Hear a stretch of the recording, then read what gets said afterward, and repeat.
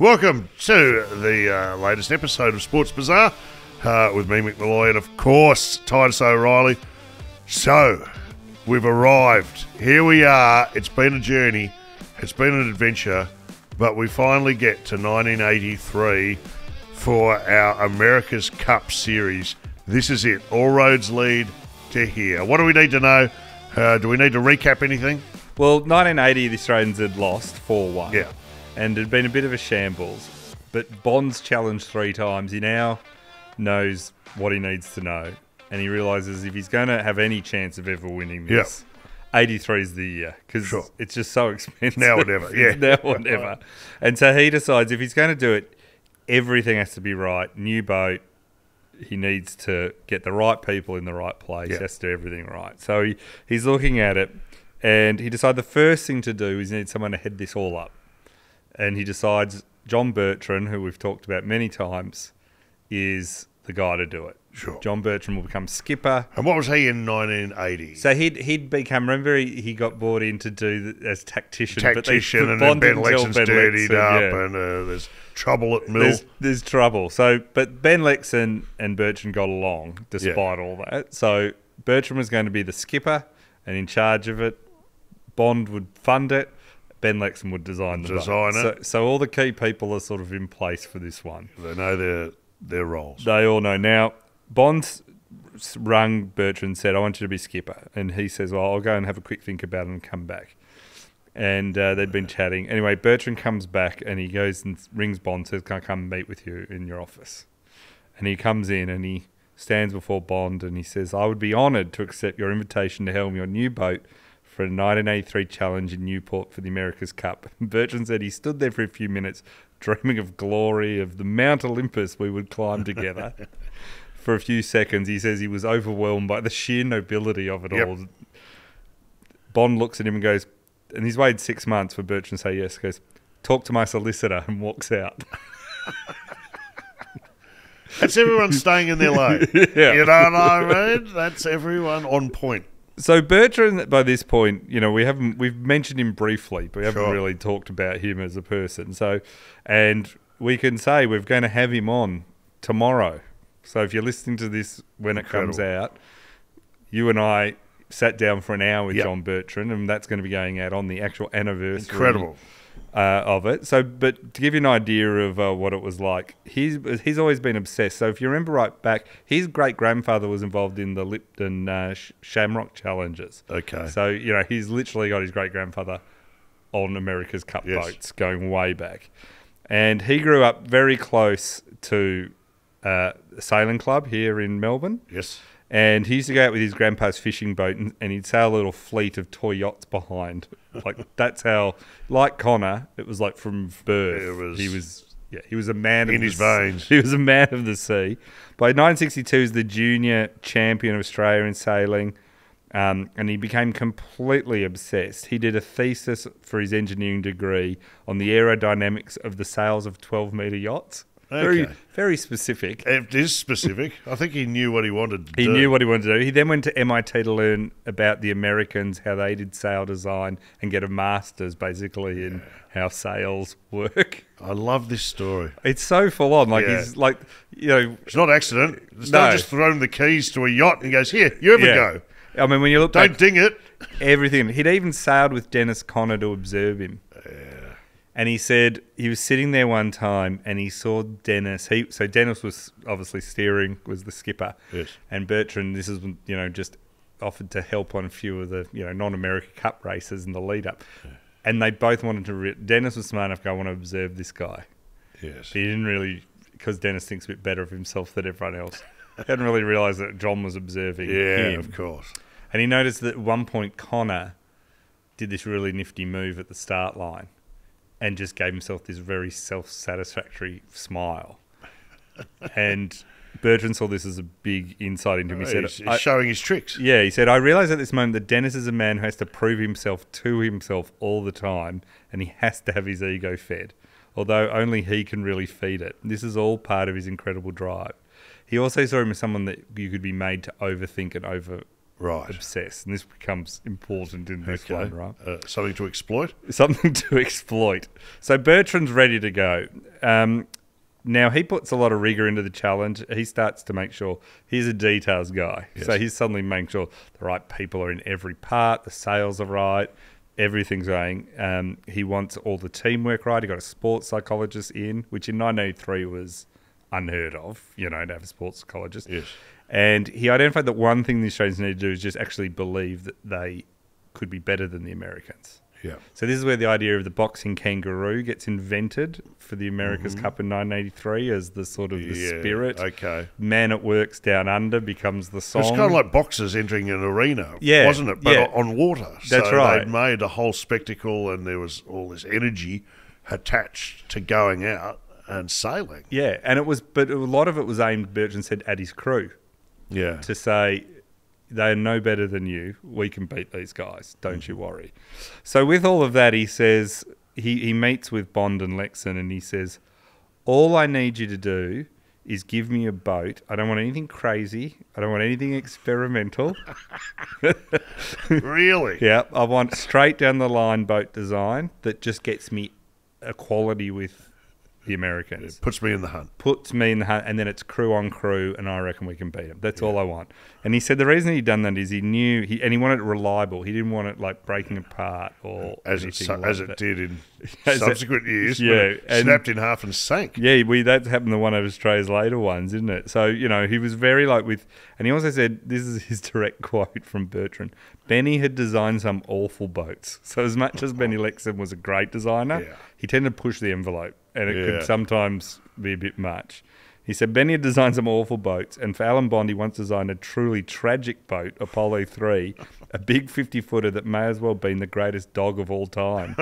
and it was not so much that she would not go, she wanted to lie down and die. Okay, that's pretty solid criticism. Yeah, yeah, it's the, like- from the Bertrand camp. So he's not thrilled with this. So he says, "That's what I need Keep it to simple, do. just- Keep it simple yeah. and reliable. They're the two things I want, right? Just It's a good brief. the problem was, and they didn't say it. Yes. the problem was they didn't say it to him when he first brought this up. They agreed with him, Yeah. but Bond and Lexcen, before Bertrand had come on board, Yes. had decided the only way that haven't ha- they because while while Bertrand had been involved in a couple of the challenges under Bond and he'd Yeah. been there under some of the Packer ones, he hadn't been quite as heavily involved as Lexcen and Bond had all the way. Yes. right. He'd definitely been part of it, but you know he he was now the skipper. But they believe they knew more than he did about Right. what the Americans were like and what was needed, and they had decided almost as soon as they lost in 1980. Bond and Lexcen had sat down and said to to beat the 132 year old hold on the cup, we need a boat with a wildly radical design. Oh, good Lord. So Bertrand's going around getting the crew ready, Yeah. getting everything to run. And Bond has sent Lexcen off to strategize, and Lexcen comes back with this master stroke that turns the whole yacht world upside down. And it's an, you know, so a normal keel under a boat. Anyone that knows even something vaguely about a thing, it's sort of wide at the top. It's like a fin almost in the water, but straight sides, a keel. Yeah. He decides to invert it a bit. It's thinner at the top, wider at the bottom, then has wings coming out on each side. So it's called the winged keel. It's right? revolutionary. It's re- it's revolutionary here. These wings are, are big. Now, they show this to Bertrand on paper. How'd that go down? Bertrand said Bondi finally showed. So Bertrand gets wind that they're up to something because he's like asking to see the plans for the boat he's got to sail. This is years out. Yes. He's going, "Where's the Where's the uh, plans? where's the my plan? boat?" Yeah, where's you know, where's the designs? Yeah. Because you know Bertrand's got a master's in engine. Like, he's sailing and engineering. He's an engineering background. So he's not. He's not like. A, it's not like a. A race car driver asking to see. He he What have you- what literally yeah. What have you got me? He literally knows, even just looking at the plans, what's going on. He understands. He's not he's not a moron, right? He's a very smart man. So Bertrand says, "Bon- Bondi finally showed me his precious new plans. He unrolled them and spread them out, and my eyes were riveted at these grotesque images of a new concept in keel design. I nearly flipped. After all that I had told him, no gambles, no risks, no trick boats, just put me on, in there on equal terms. Benny turns up with something that looks like a bloody rocket underneath my cockpit. So, Fantastic. so he's not thrilled, right? But Bertrand uh, look, starts looking at it, and they start doing some testing. and they actually go to the Netherlands to do some testing in some of the Right.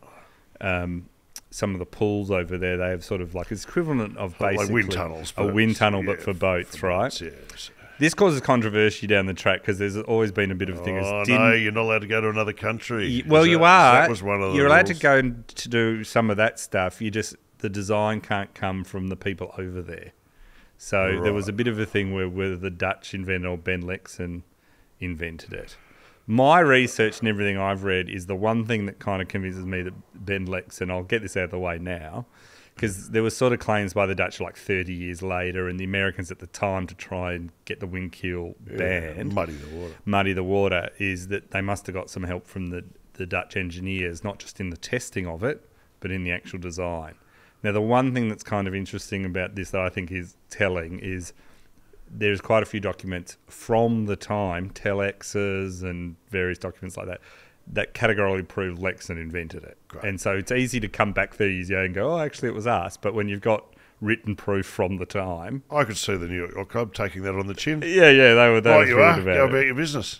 So when they're overdoing it though in there and they're testing this before they build it, it works. And Bertrand starts to his engineering mind starts to go, okay, now I kind of see what you're doing. It's not as crazy as it was. Um, and they all get a bit excited because th- here's an edge. Um, here's something new about it. But they're debating about do we actually build this? And the idea of it, it will be that the boat will be able to turn much, much faster in the water. right. Right? That's the idea That's of it. basically the key. That's the key of it, What yeah. gives you the advantage with the wing keel. Yep. It, it almost like roots you in place in the water, so you can very quickly almost turn on a dime, and and so that's really what it is. Makes you, your turns very quick, fast, but almost in place. So they still don't know it's going to work. They've got all the testing, but they don't know it's going to work. It's all we all know now what happens, but at the time they didn't know. And they're all looking at it. They're going, "It's good enough that we could risk it." But Bertrand's also saying, "It is a risk, though. We know we've got boats that very close to the Americans, if not equal. Do So we, they have to choose. They can't develop. To, It's like, very your, ex- your standard thirty-two regular and this revolution. There are design. times when the Americans do this later on in American Cup races where they build several boats. Conners is the first to do, Do this it, a few yeah. times and stuff, but it's very expensive, and you know they're sort of having to decide. And so they have this long debate, and Bond, and it was his money, just finally looked at them all and said, "Build it," and that was it. And Bertrand said that was the strength of Bond. He actually made the decision: we're just going to plow ahead and do it. Yeah. And they build the thing, they build the boat with the with the wing keel, and they name, name it Australia Two. So All they now have a boat. Now, when they first take it out for a, a ride, um, they're actually going around, and Bertrand said that the he first just goes for about a mile and a half, and it's all fine. It's nothing exciting. Yeah. And then he goes, and he said, and then I decided to turn her around and sail windward. And at that moment, I knew something was afoot. Australia 2 did not merely turn or even turn fast. She ripped, whipped around faster than any boat I've ever sailed. It felt almost like a turn on a hairpin bend. She spun tighter and faster, her wen keel, keel holding her magically almost on a dime.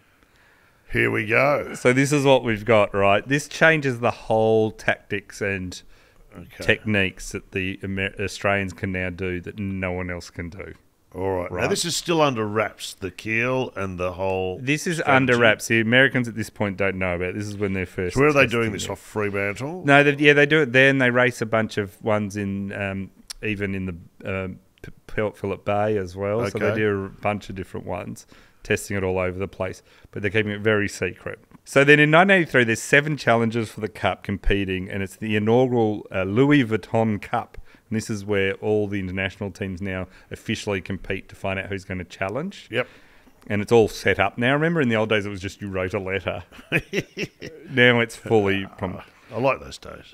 I know they were good days, and the, there's rumours of this revolutionary new keel development, and so this is amongst all the defend, all the people challenging. They're getting a bit nervous, and so's the defender, the Americans, and Australia two just absolutely smokes the entire field in the in the qualifying to become the challenger. Conner is so worried about everything to do with this that he actually does a deal confidentially with the New York Yacht Club. And what he does is he rates Liberty his boat with different sailing configurations, three different ones that all suit different conditions, and got them all ticked off. So you with the New York Yacht Club to race. So, So what, what that means that is mean normally you go and say, "This is my boat," This and they the measure it all. They make sure it fits with the ratings, Yeah. and that's it. You that's your boat. Does that that include the set of sails? That's everything, right? And then what he was doing is he then goes to them and say, and and that's all kind of public. He does this secret deal that says, I also want to ra- like get ratings for because you have to be officially ticked off as it, the boat's legal. I want to set the boat up in completely different ways with different levels of ballast and different, all different. With the idea that he will ultimately choose one, or that he'll have three separate designs and uh, over the seven so, races. So say one day that so to give it a real layman's terms for this. So say one day he's got a rating for a boat that's set up for light conditions Yes. and smooth sea. So he might have very light ballast in it. Yeah. And then the next day it's going to be really choppy. So he puts heaps of ballast on the boat, which no one else is allowed to do. Wow. He's allowed to tweak the boats, basically, the boat in between. And knowing what I know the about the New York Yacht Club, they would have said no. They say- that is not within the spirit of the competition. They they say yes, tick off all three, but he does this at, during the defender trials against the other Americans. so he's using it during the defender trials. well, he get he he he Are people them- aware he's setting his No, up it's differently? no, it's secret. What is going on? Jeez. So when the Americans are going to start throwing dispersions at the Australians, Oh, yeah. that's what Dennis Conner's doing, right? Dennis is getting. He's basically Around the rules, He's got three loophole. boats. See, the thing He is, can race three else, boats. He can pick one of three well, boats three bo- depending on the, the the same boat, but set up three Yeah, different but, ways. but I'm saying to you, that's three three different boats. Well, the thing is, everyone else has always gone and just rated, rated their boat, right? That's the way. He he goes to them and goes, I can do it in three different configurations. And they go, yeah, sure. But they don't tell everyone else it's okay to do this. He's found a leap, loophole and they just keep it quiet like a gentleman's agreement between them and him. So the Americans are still very spooked, even though they've now got the man they want, Conner Racing. That they decide, well, why don't we? One thing we could do is we could launch legal challenges against Australia and their winged keel. They don't know it's winged, but what, whatever yeah, they've whatever's got, right? going on down there. So they and they just it drives them nuts that they haven't seen it. So we know they sent divers below because Bertrand told you and I that he caught them. That they they caught them. right. Helicopters are above, nothing works. They're losing their mind. So they decide to launch legal challenges. So they send people over to Holland to try and figure out if they can find any allegations that the Dutch invented it, not the Australians. They Yeah. can't. Australia starts to respond with documents that prove they've got it. Yeah. Um, the New York Yacht Club write write to the ratings. People have already ticked off Australia two as legal, and they reaffirm that Australia two is legal. Yeah. So the New York Yacht Club then write to the International Yacht Racing Jeez. Union to question the legality of it and ask for the entry to be disqualified. Wow. The Australians point out that, hang on, twice we've been rated as a legal 12 metre yacht um, by the body you said would be independent body that you said you'd accept their view. Yes. You've then complained to them again and gone and complained to a higher body Yes. who doesn't have any say in this, Yeah. by the way. So, so the, this body doesn't have any say. Um, and now it's all over the shop. And you know what are you doing? The International Yacht Racing Union come back and conc- concludes anyway that Australia Two is eligible to compete and legal. So the Americans are losing their minds, right? They are Yeah. trying everything. Even worse, the head of the British syndicate revealed that um, that it's common knowledge that the International Yacht Racing Union has um, ticked off on wing keels. They all sort of know it's a wing Yes. keel without knowing what it looks like. And so they're legal, so that's any sure. And then it comes to light that the New York Yacht Club, which has been trying to get this whole thing um, knocked off the boat, attempted to buy this design from the Dutch. One of the other defensive defending syndicates had Really? earlier tried to buy the wing keel from the Dutch, Okay. and the Dutch said no. The Australians have come up with it, and we're working for them. We can't sell it to you. So it becomes a bit funny when they're trying to buy it to then turn around and go, it's And bad- then outlaw it. then ban it, right? So it comes down to the Americans are looking at this. They're like toddlers. They're behaving like spoiled children. So the New York Yacht Club, this point, think this is the gravest challenge we've ever faced. Right? We've Yeah. got people who know what they're doing, like this wing keel that we don't know, but it seems very good, and we can't get it banned. But it's still really up to the New York Yacht Club.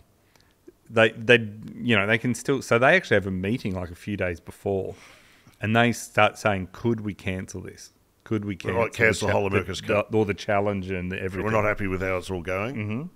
Do they need specific grounds? Or No, can they well, just go, you've you know seen what? before they've they've changed the rules before, right? They're not, you know, ultimately they, you know, they'd they'd be laughed at, but they're kind of like going, oh, do we come up with some ways to, you know, just say this is not okay, which they have the power to do, right? They'd look silly, but they have the power to do. Look silly. Alan Bond comes in and says, well, I'll sue you for half a billion dollars, US. He's got his costs. He's like, He's yep, his- I'll sue you. It's fine. I'll sue you. Like Yeah. Bond's quite happy to go legal challenges. He's like, It's all legal. Isn't I'll it? I'll sue you. It's a boat race. So they back down. They go, okay, we're going to do it. Now, part of all this happening at the same time and after this decision is the mind games. So the Australia is Australians are so angry the Americans have kept trying to ban them that they just they see this actually as a weakness. Yes. So they're going, we're not, we're no longer intimidated by this nonsense. You're weak. Um, let's turn the mental torture up to 11. so, as well as the boxing kangaroo, the anthem, the men at work down under, Bond had a big, huge launch um, that he would, big ship, you know, that he would, big luxury yacht that he would, before races, park out the front of the New York Yacht Club and play Men at Works Down Under at the top of the volume. right? So he just decides, I'm going to put, if you want to try and muck great. us around, I'm going to muck you around. Right? That was Yeah. the one thing Bond did very well. He'd also turned up to this challenge with a golden wrench that he said he would use to unbolt the cup from the plinth that was tied.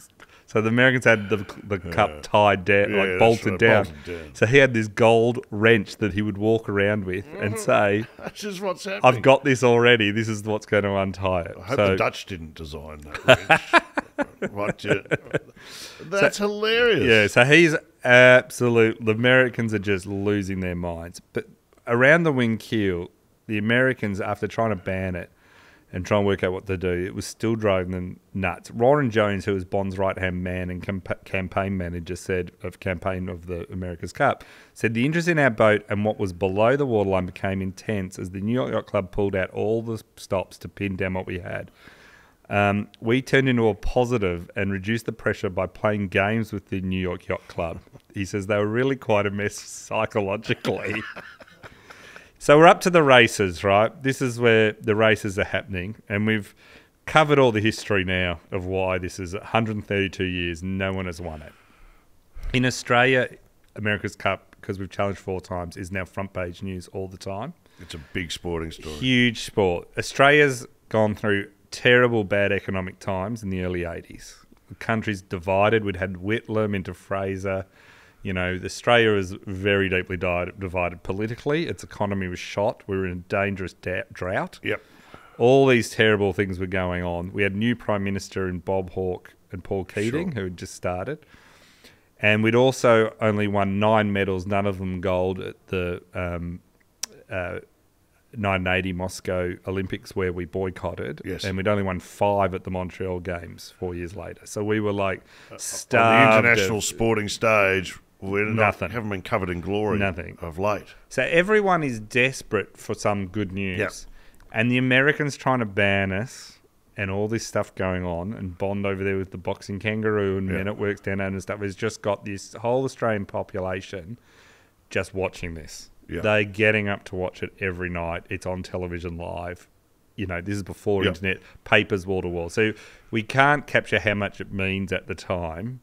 It was huge. you remember. know. So race one starts, and Australia two's in the lead, and her steering gear breaks, and so almost amaz- immediately her spinnaker collapses. She can barely sail, Yeah.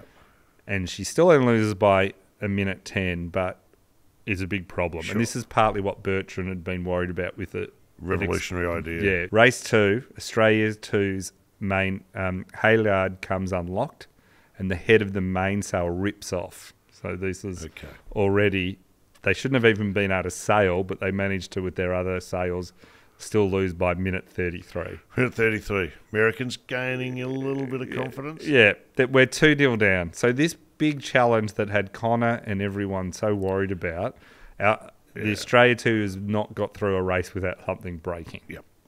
So, it's a it's looking bad. Okay.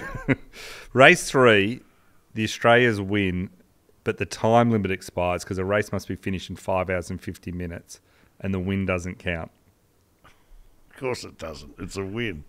So Australia's win. Now, in fairness, that is one of the that is just right. true, right? So, so technically they win, but it takes too long to race at all, and it times up, and the win doesn't count. So it's still two 0 Race three's run, and Australia two wins, keeps themselves in it. It's now go. two one. Race four, Conner and his team sail an absolute perfect race. Every wind shift goes their way. They don't make any mistake. Um, and still they only win by 43 seconds. But now the Australians are now da- down 3 1 in the series.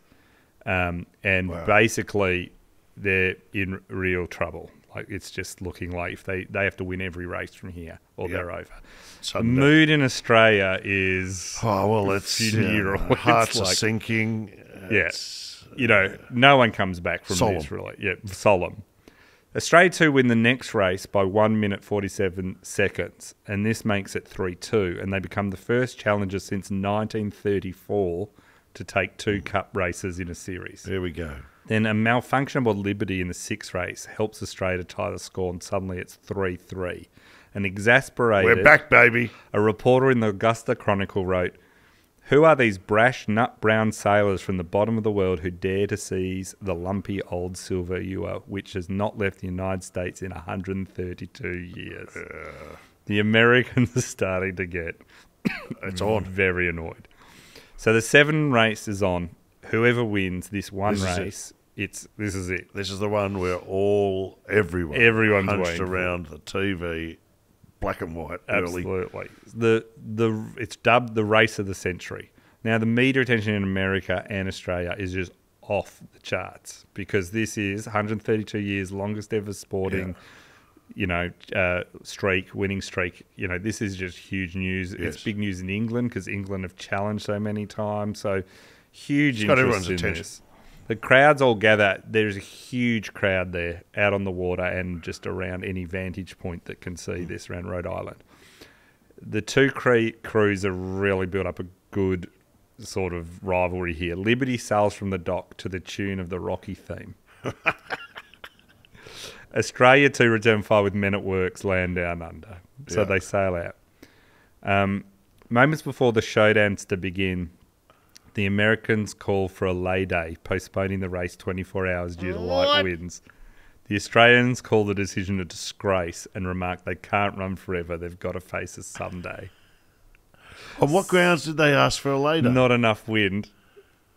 Well, why, why don't we run it like They the think one Am- we did? They think And- Australia too does better in the light wings. So um, Well, the New York Yacht Club would have had none of that. none of that. So they come back. What do you mean? Uh, they They- come they back got a to- lay day? Yeah, they got a later. so they've delayed it. Finally, the 26th of September, it's on again. And it's shown live in Australia again. It's just before dawn. Watching parties held everywhere. I can remember going to one as a kid, sleeping and getting woken up for the Sure. actual race, you know, as, Yes. as a five year old. Um, it was absolutely huge. Conner and his crew, they they like the conditions. It's Monday afternoon over there. They really like the conditions, right? Um, all of Australia, the legal challenge, the wing keel, blonde, bonds, glamour, and everything to come back to get it to three three means in Australia the whole like country is Yeah. nuts. The race is ready to start now. On that exact same day, and we didn't know this too much later, a Soviet military officer uh, Petrov averted a possible nuclear war by correctly identifying a U.S. missile attack warning in Moscow as a false alarm. But that wasn't the most important event that No. day. That was this. The race started, and the Australians start incredibly poorly, and they are looking way behind. It looks like it could almost be over Yeah. before it starts. They recover and they start to get back in it, and suddenly it's on, and the lead changes three times. But then Liberty get ahead, and they round the final windward mark with a lead of 57 seconds. Oh, Jesus. Bond is so sure it's over He goes down to the cabin of his uh, ship, the Black Swan, and he actually gets called back onto the deck because Australia 2 is gaining on Liberty. Bertrand's decided he's going to split the course on the downward fifth leg, which basically means he goes one way, Conner Yeah. goes the other. They're not Here racing side by side. See you at the finish line. And he catches a breeze, and Australia 2 start rapidly making up ground. But they're still far back. Australia 2 begins to get close to Liberty, and they try to start stealing Liberty's wind by getting in the way. And Australia 2 starts to work. It's, it's in the way of the wind and is blocking Liberty. Liberty, and they then get really just caught in trying to really just jibe against each other. So one makes a move, the other makes a move. and but the way it's coming is it's going well for Australia. It is gaining ground. Um, you know, every single moment. Um, Conner says later, two quick jibes and we paralleled her on port jibe. Then, as if using a propeller or those trick wings on her keel, the boat started sailing lower and faster than we could. In the final third of the run to the last mark, Australia 2's suddenly getting in there with Conner right side by side. The boats are literally getting closer and closer. They do one of those jobs where one boat's going the other way. Yes. The other ones, they almost crash. And it's getting incredibly nervy. But then suddenly the Australians are a boat, boat length clear and they've seized the command. They're in the commanding position in terms of where the wind is and where the buoy is that they've got to go around, and they're parallel with Liberty. And so, in a space of 4.4 miles, Australia 2 has taken 1 minute and 18 seconds out of the Americans and leads by just 21 seconds with one leg to finish. Dennis Conner utters annoyed. Does anyone here have anyone? Does anyone here have any ideas? But Conner is not. Conner's not some loser. Conner is Right. an amazing captain. So skipper. So he's down, but he starts to say, "Well, we're only just behind them." So he decides on the last leg to launch what is a stunningly aggressive set of moves. He tacks, you know, 47 times against the Australians, and each time the Australians have to Yes. meet every tack to try and tactically keep him out and get the best position. Exhausting. Now the thing is, at any point, while Australia two, it's very hard. That's going to that Conner to get past. Australia two only need to make one mistake, Yes. and you and I know because we've spoken to John Bertrand directly about mm. this, and there'll be more of this in tomorrow's show. One mistake, and Australia two It's over. are stuffed. Yeah. So this whole thing comes down to these last 47 tacks as the God. Australians match Conner on every single one to try and keep their position. He's not going quietly. He's not going quietly. And they sail it absolutely perfectly. They do not let him pass. And they go past the committee boat, and the gun is fired. And the America's Cup has become the property of the Royal Perth Yacht Club. 132 years of history, the longest winning streak in sport, is over. I've got goosebumps. And the place absolutely erupts. Incredible. Australia 2 is boarded by Alan Bond and the rest of the team, and chaos ensues. The America's Cup is finally going to be unbolted from the New York Yacht Club, and it's in the most dramatic race that the America's Cup has ever seen. The Australians celebrate this victory with a ferocity usually reserved for the end of a war. exactly right. Well, these were We triumph. get we get the great quote from Bond, which said, "This is Australia's greatest victory since Gallipoli." as soon as the ceremony, a ceremony is held um, after the race, and John Bertrand says, "I'm pr- very proud. I feel very humble." He raised the trophy alongside Ben Lexcen and Alan Bond. They all raise it together. Bond has invested over $16 million in four attempts to get to this point, which Yeah. in the 80s and 70s money is a coin. lot of money. Um, amid all these wild celebrations, Bond orders, and you, there's great images online. It's nighttime, there's champagne going everywhere. Incredible having a ball. scenes. Bond ordered Australia 2's wing keel to be revealed, and the boat's lifted up, this time without its modesty skirts Yep. and there it is for all to see the upside down keel shape. It's just an amazing image and thing. The Australians joke, Ben Lexcen says they're going to get the cup and run it over with a steamroller and rename it a, the America's plate. In the background, as the boat's been lifted out and the wing keel's being shown, Dennis Conner quietly clambers across some diggings in the background um, in tears because he's so he's just a broken man because of it. Millions of revelers, Aussies, have stayed up throughout the night back home in Australia. Yeah. It is going absolutely nuts. Car horns, everything. The nation is absolutely loving it. Prime Minister Bob Hawke, he's drenched in champagne. He's at the Royal Perth Yacht Club. Yes. He's been up all night. Yeah. He's had a few. He's in an white Australia jacket, like it's a white Yes. suit jacket, but with Australia written. You've seen this and the map on Which it. he's of put on over the top of another jacket. Yeah, it's It's insanity. It's bonkers, right? He is absolutely um, loving it, Yeah. just having a ball. And someone says to all the media keeps saying, "Can we have the day off? Can we have the day off, Prime Minister? Because it's a Monday morning over Yes. there. Can we have the day off?" And he famously says. Um, any boss who sacks anyone for not turning up today is a bum. Famous. Famous That moment. should be on our Parliament House Yeah. or something. Uh, in a more sober moment, Hawke and President Ronald Reagan exchanged telegrams of thanks and congratulations. So, you know, they're quite honourable, the Americans in this part. Conner sat under TV lights just being absolutely torn to shreds by the American press, Sure. and tears streamed down his face as he spoke. Um, but he said weirdly, that touched the Americans more than when they used to win. He said, I used to get, you know, a couple of letters after defending because he successfully defended in 1980. He got about 100 letters, he said. That's not very much. After losing, I got tens of thousands of letters. And he obviously comes back to win it. Of uh, course. In 88. Did he ever have a moment with Bertrand? Did he ever go and shake hands? Did he ever get off the boat? and Yeah, I think they were. I, I haven't. They don't mention that, but they were. They got along well enough. You know, they were pretty. There's a lot of respect. A lot of respect between them all.